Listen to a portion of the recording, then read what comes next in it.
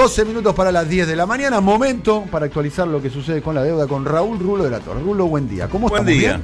formalmente. ¿Qué Bien. tal? ¿Cómo anda, maestro? ¿Bien? Bien, muy bien. ¿Qué tenemos para el día de hoy? A ver, A ver, el tema de la deuda. Hoy es un día importante porque es el día que vence el acuerdo de confidencialidad con respecto a esta etapa de la deuda. ¿Qué quiere decir esto?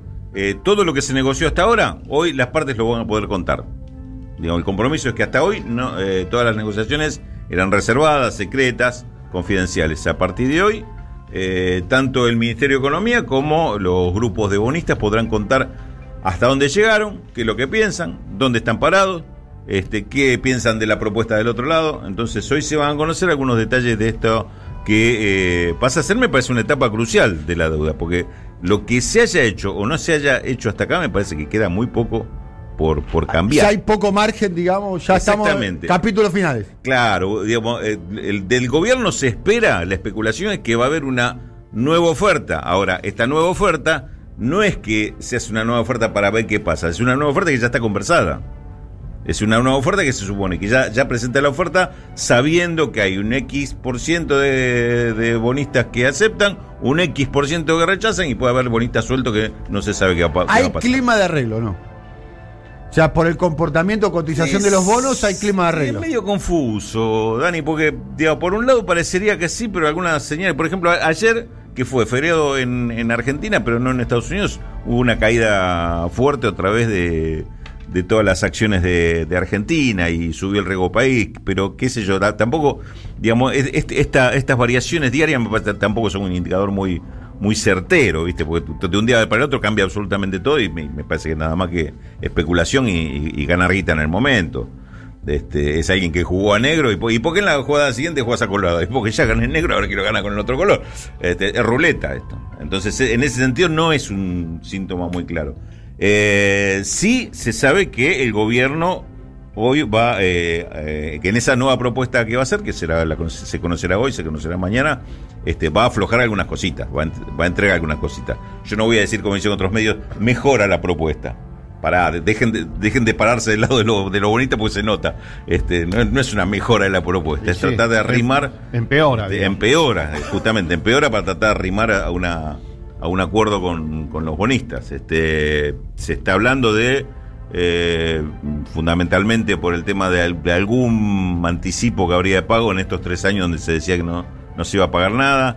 Vamos a ver cómo es la tasa de interés porque al gobierno le interesa y al equipo de Martín Guzmán en especial le interesa muchísimo el tema de los intereses, que no pasen del, del 4%, este, que es la, para, para ellos es la clave de la negociación.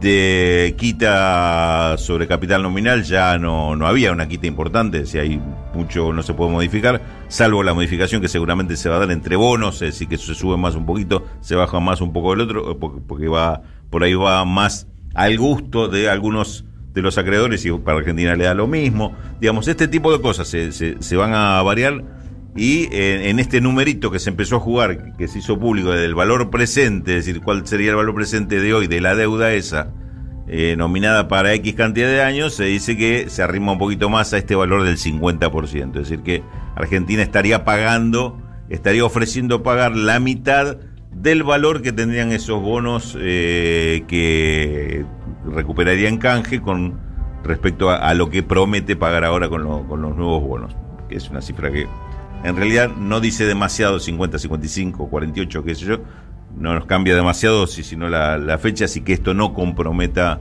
los próximos años. También se está hablando, ¿se acuerdan que, que en la mm, emisión anterior, el acuerdo anterior, hubo un bono cupón PBI que se le llamaba, que era un bono que si el PBI subía más del 3%, se daba un plus a, lo- a los bonistas, o se adelantaba parte del, de, de- de la deuda. Bueno, en este caso sería un cupón exportaciones. ¿Por qué? Porque después de la caída que vamos a tener este año y no sé el año que viene, con el Mm. tema de la pandemia, obviamente va a haber, se espera que haya una recuperación muy fuerte de la economía. Este, un, y ahora una recuperación del 8% en 2021-2022 no es gran cosa si este año tenés una caída del 10 o del 12. Entonces, eso, el cupón PBI desapareció del, del escenario y se habla de cupón exportaciones, que por otra parte está más ligado al tema de conseguir dólares, que es lo que en definitiva es, lo- es el, el, el nudo o el embudo que tiene Argentina para pagar. Así que dentro de estas condiciones Se está conversando, vamos a ver qué sale de todo esto. La fecha del 19, que es el viernes que viene, se correría únicamente si es que hay algún acuerdo y se piensa que se van a demorar un poquitito más algunos trámites para, para cerrar o no cerrar. Pero en principio eh, me parece que se está jugando la instancia final de la negociación. Es inminente. Pero ahora, eh, yo, mi pregunta es esta. Dadas las características del sistema financiero internacional, la situación de muchos países, no solo de Argentina, con respecto al endeudamiento, este, eh, ¿van a poder hacer frente a la deuda? Muy probablemente no, mucho. ¿Cuál es el apuro por cerrar ahora? que de, la especulación del lado argentino es que hoy se están dando mejores condiciones para para, para presionar y, establecer que las, que, las que ven a futuro. Sí, lo que pasa que, digamos, a, ver, ninguna de las otras economías que está en, con el problema de deuda es comparable a Argentina. o, son economías grandes que igual ya tienen asegurada la refinanciación, como puede ser Italia, eh, o son economías muy chicas. Son, economías muy chiquitas que, que, no, no, no inciden dentro del mercado mundial como, como el caso de Argentina. Es decir, Argentina en ese caso es un caso bastante único y ni siquiera diría que es, un caso que, van a tomar como referencia al resto. No sé si lo van a tomar como referencia, pero eh, lo que están apurando a Argentina es pensar, dice, bueno, hoy está, está todo destrozado, agarren lo que le damos porque si no, mañana no sé si le vamos a dar algo, es más o menos la especulación que se hace, ¿no? Sí, Y decir, bueno, entonces este es el momento de, hacerlo. Y por otra parte, te corren los vencimientos, decir, entras en default y tiras en default a, no sé, hay 500 empresas argentinas que están endeudadas en el exterior y, las, las tira por, por, el precipicio si, si, si vas con el, con el país del default. Y las provincias también, ¿no? Hay, hay toda una serie, un encadenamiento de endeudamiento de Argentina que, este, que con un tema de declaración de default le, le, complica la vida.